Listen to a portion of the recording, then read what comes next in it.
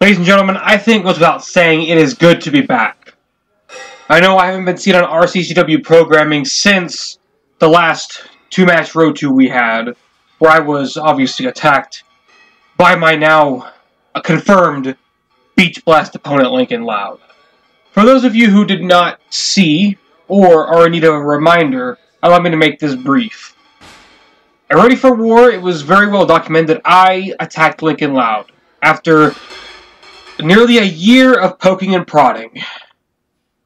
And while some would call my actions justified, I am the owner of RCCW. I am a wrestler, yes. Hell, a, a current world champion, even. But here in RCCW, I am the one running the show. And that is where I belong. Not in the ring. Not unless I need it.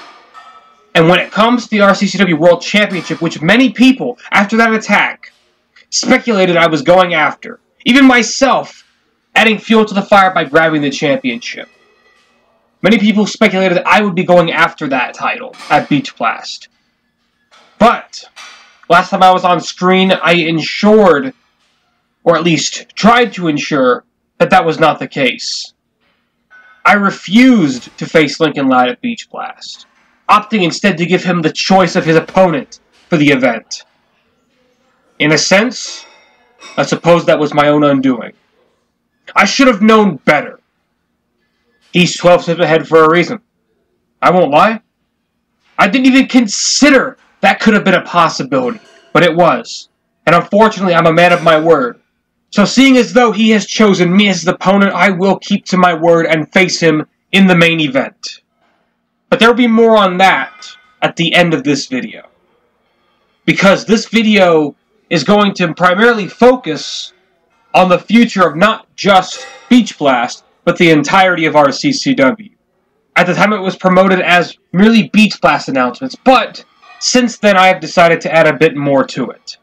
So without further ado, let's jump right into the announcement. First of all, some last minute Road to RCCW Beach Blast matches that I have in store for you. Now, these will not be on the final Road to, these will have their own exclusive two-match Road to coming up very shortly on the channel. These three individuals came to me and asked that they wanted to defend their championships before Beach Blast. A sort of warm-up, if you will. And I, as always, am always welcoming fighting champions on the show. So, coming up very soon, expect to see legendary and Luann Loud defend their respective championships on the road to Beach Blast. Against who? I guess you'll have to see. Now, let's get to the event itself, RCCW Beach Blast. The card is still under production, but a good maybe 80% of it is complete. The next and final Mega Road 2 will be the deciding factor, will be the finalizer. But I am here today to announce the entirety of the pre-show, which I've been looking to change up a bit for quite some time. So what better time to do that than now, at one of our, if not the biggest show we built up to thus far in RCCW's lifetime.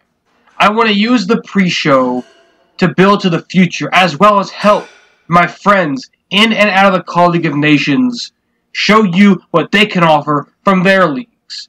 This pre-show's card is half of each.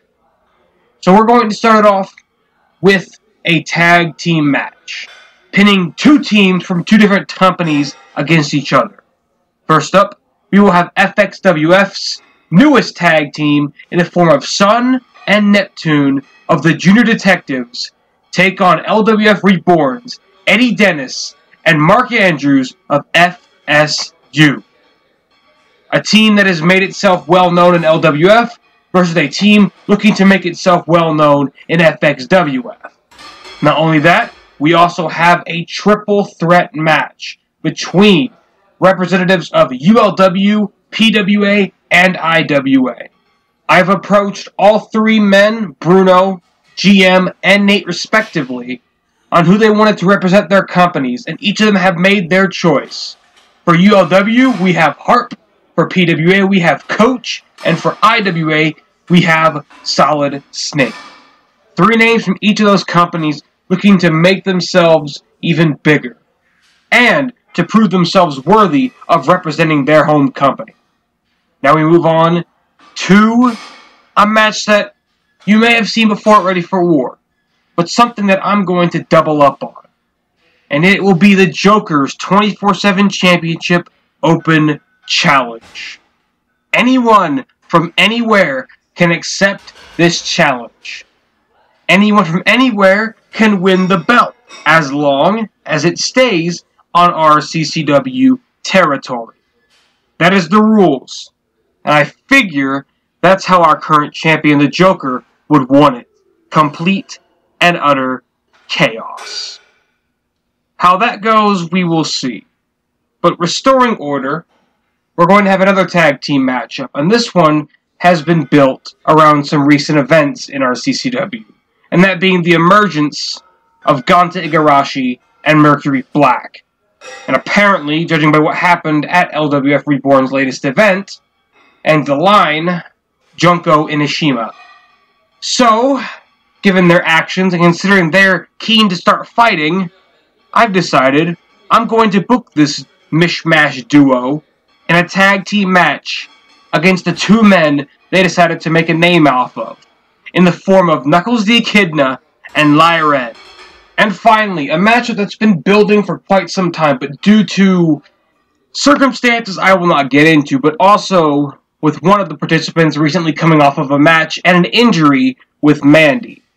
Finally, she's all healed up, and she's ready to make her official debut on the main roster of RCCW. We will have Kim Possible taking on Pacifica Northwest, with the winner earning themselves a future opportunity at the RCCW prestigious championship. That will be your headlining match for the RCCW Beach Blast pre-show. And concerning RCCW Beach Blast, that is all the announcements I have. However, there are some more announcements that I have. Three major ones, in fact. With the first one being after much consideration, I have decided to bring back an old show of RCCW. That being RCCW 240 Live under the brand new name RCCW 240 Speed Boost. Now, allow me to explain, this will not be a show that has exclusively 240's division on it. The 240 division will still be making appearances on Battleground and Avalanche.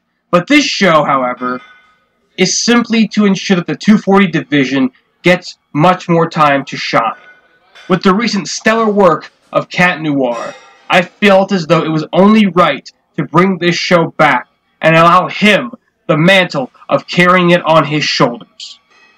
And speaking of that, we will also be including a lot more 240 superstars coming in the new season. Also, coming up in the new season will be the return of an old classic tradition of RCCW with our classic tournament. Now, this one's going to work a bit differently than it was last time. You remember the GTS and the Superstars vs. Divas Classic. The winner would end up employed to RCCW. The second tournament, however, somewhat eh, messed up that concept, admittedly. And because of that, I have decided we're going to change it up just a smidgen. All of the superstars in this tournament are signed officially. They are not fighting for a contract, they have already been signed to RCCW. They are fighting for a chance at a mid card title of their choice, as well as the right to choose their brand on where they will be going. This is why I have dubbed this tournament the RCCW New Blood Classic, and its participants will be revealed as time goes on during the off season. But now, ladies and gentlemen, we move on to something not quite as positive, and that is the future of one of RCCW's brands. That being RCCW NXT. It has been silent for quite some time, ever since DC, and I assure you it has nothing to do with what happened to end the show. It has just been that a lot of stress has been put on me, and this has been an especially rough year, so I have made the conscious decision to cancel RCCW NXT. Now, this does not mean that it's immediately canceled. No, it is still active. It is still going to produce shows, but it is only going to produce a few more before it wraps up completely. There will be more news on this on the return episode of RCCW NXT. But all you need to know is a majority, not all unfortunately, but a majority of the NXT talent will be called up to the main roster once NXT reaches its series finale. Again, details will be given more on the return episode of NXT. But I feel like for my own well-being, it is best to cut down on a lot of the work and build my way back up to being able to do multiple things at once. Hell, NXT wasn't even really meant to be its own brand, it was meant to be a live stream division, but I guess like my good friend Status Quo, I got a little too ambitious for my own good. But nonetheless, where mistakes happen, we will use them to learn from. And rest assured, we will ensure that the talent from NXT have a cozy home somewhere, if not on the main roster of RCCW. But before I sign off, I just have one last thing I need to address, and it is the obvious. It's my Beach Blast opponent, the RCCW World Heavyweight Champion, Lincoln Loud. You see, Lincoln Loud, there is so much I could say about you. Genuinely. Genuinely.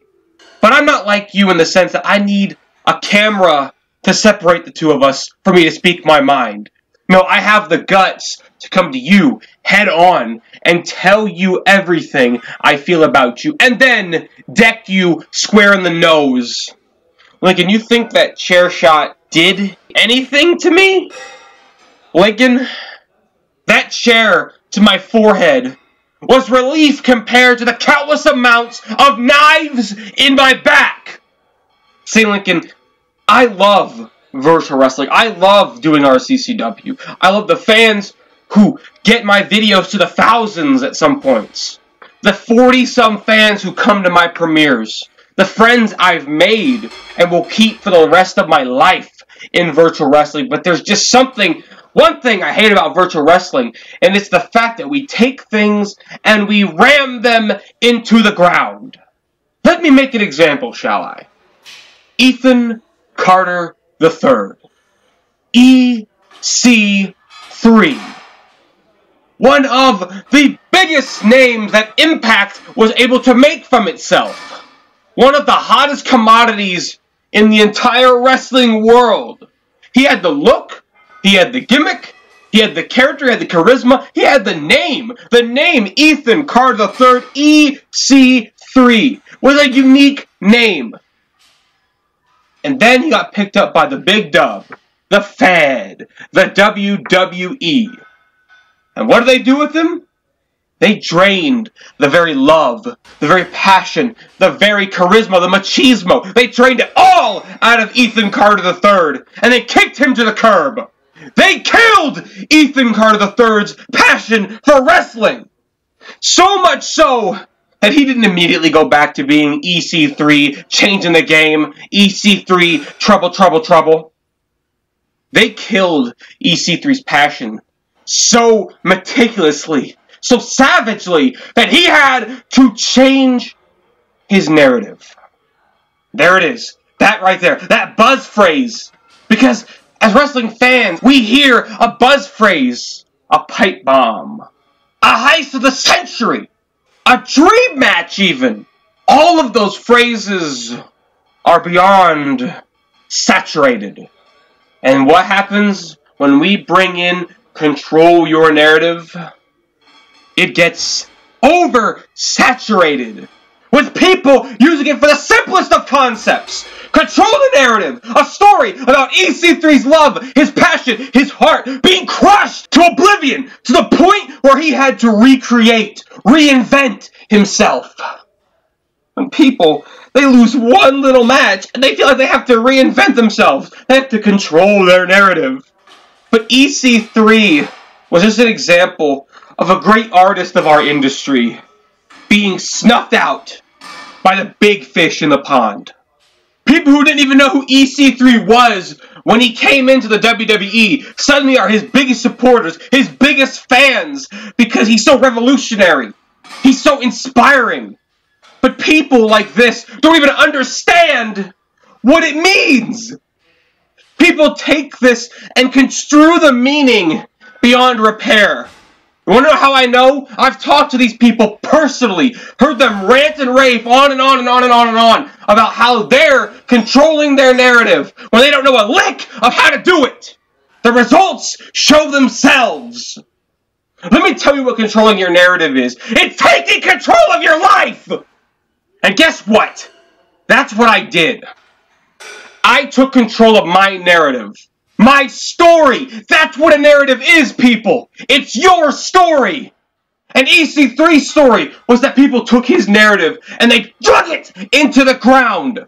They took it, tried to make it their own, and then abandoned it completely when it served them no further use. And guess who else has been through that? Me. Your narrative should never come at the expense of someone else's.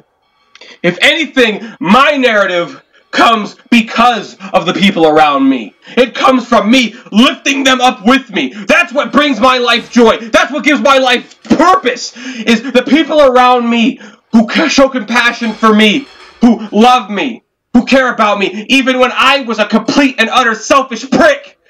Who stood by me through all of it and have lifted me up. The best way I can think to repay them is lift them up with me. Make them feel like they are special because they are the people who watch these shows. The people who have supported me through thick and thin. The fans, my friends, all of them. The people like Noah. People like Status. People like Chard and Braden and GM and Ben and Nate and Rhett and Bruno and Moses and Moore and Liam and Chard. All of those people in the CAW League of Nations are my magic, just as the fans, like Jacob Baker, like Tristan Valkyrie, like Marcelo Gonzalez, like Rain Allen, like Francisco Jose Alonso, like all the fans watching this right now. You, watching this video right now, if you are subscribed, if you're liking, if you're commenting, if you are actively watching RCCW every time we put out a video, you are part of that group. And I thank you, and I love you for that, because without you, I wouldn't be here. I would have left Caw a long, long time ago. Hell, no, no, no. Not even a long, not even that long ago. At the start of the year, I would have left Caw had it not been for you, my friends, my family, my fans, everyone. And the last thing I need is some scumbag like Lincoln Loud trying to prey upon my insecurities. Mirage He'll get it in a whole other promo. And Revy, I haven't forgot about her either when she tried to pull an FXWF. But right now, this is about RCCW. This is about Lincoln Loud. And Lincoln Loud at Beach Blast, your time will come. You can run all you want, but Father Time will catch up. He always catches up. If you thought that was everything I have to say, you're dead wrong. That's only the beginning of the hell I'm going to rain upon you come that contract signing. Because Lincoln, I know you're going to have a lot of bullshit to say my way. I know you're going to have a lot to say about me, but guess what, Lincoln? It's about damn time I fired back. Right in your face. Point blank. And Lincoln, I had hope that you are prepared mentally for what I'm about to do to you. You won't be able to hide behind a camera, or hide in a boiler room, or hide in the ring, because if last time you running your mouth to my face showed anything, I will whoop your ass with relative ease.